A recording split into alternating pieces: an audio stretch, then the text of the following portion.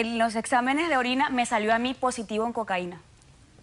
Pero sin tú consumirla. Na- mire, yo no tomo ni cerveza, no tomo trago, no, to- no fumo, yo no fumo, yo soy una mujer sana. Me manipulaba y me decía, mm. doctora, que como gracias a él yo estaba aquí y había adquirido los papeles. ¿Qué es eso? Entonces me tocaba aguantar. Tras que no aguantaba, no aguantaba, que se eyaculaba rápido, me chantajeaba. Qué cosa tan horrible. Bueno,